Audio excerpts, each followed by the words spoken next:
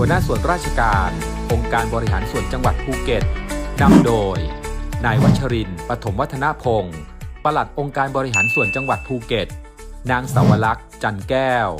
รองปลัดองค์การบริหารส่วนจังหวัดภูเก็ต องค์การบริหารส่วนจังหวัดภูเก็ต แบ่งการบริหารภายในเป็น 3 สำนัก 8 กอง 1 หน่วยงาน เพื่ออำนวยความสะดวกให้กับประชาชนที่มาติดต่อขอรับบริการ ประกอบด้วย สำนักปลัดองค์การบริหารส่วนจังหวัดภูเก็ต นางยุพาพร หนูนุ่ม หัวหน้าสำนักปลัดองค์การบริหารส่วนจังหวัดภูเก็ตสำนักปลัดองค์การบริหารส่วนจังหวัดภูเก็ต มีภารกิจเกี่ยวกับการพัฒนาคุณภาพชีวิตของประชาชน รักษาผลประโยชน์ในทรัพย์สินขององค์กร และงานป้องกันและบรรเทาสาธารณภัย การพัฒนาคุณภาพชีวิตของประชาชน ตามอำนาจหน้าที่ขององค์การบริหารส่วนจังหวัด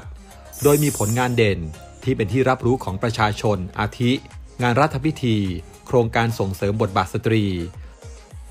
โครงการอบรมส่งเสริมอาชีพ การทำผ้าบาติกสายแร่ หลักสูตรการทำอาหารญี่ปุ่น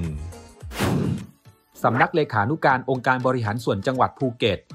นายสุนทร แทบทับ เลขานุการองค์การบริหารส่วนจังหวัด สำนักงานเลขานุการองค์การบริหารส่วนจังหวัดภูเก็ต มีหน้าที่ความรับผิดชอบเกี่ยวกับ งานเลขานุการของคณะผู้บริหาร งานเลขานุการของสภา และการประชุมสภา งานการประชุมสภา การประชุมกรรมการต่างๆ ของคณะผู้บริหาร หรือสภา การจัดทำระเบียบวาระการประชุม รายงานการประชุม การติดตามผลการปฏิบัติงาน ตามมติของคณะผู้บริหาร หรือคณะกรรมการต่างๆ ของสภา โดยแบ่งส่วนราชการภายในออกเป็น 3 ฝ่าย ได้แก่ งานกิจการคณะผู้บริหาร ฝ่ายกิจการสภา และฝ่ายการประชุม โดยมีผลงานเด่นที่เป็นที่รับรู้ของประชาชน อาทิ ประชุมสภาองค์การบริหารส่วนจังหวัดภูเก็ต สิทธิสวัสดิการของสมาชิกสภา งานกิจการสภา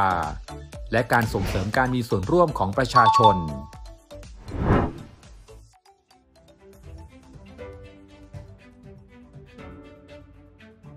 สำนักช่าง นางวาสนาสามห้วย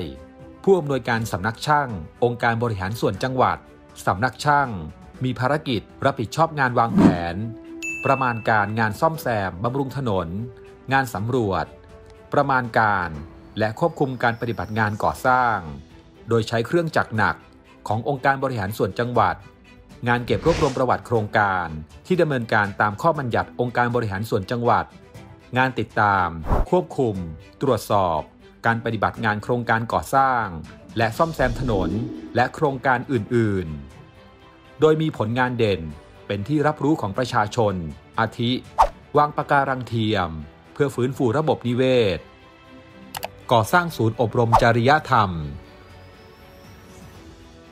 ปรับปรุงถนนที่ทางอบทร้องขอ งานสนับสนุนเครื่องจักรหนักต่าง ๆ ซ่อมบำรุงผิวถนนลาดยาง ดูแลเกาะกลางถนน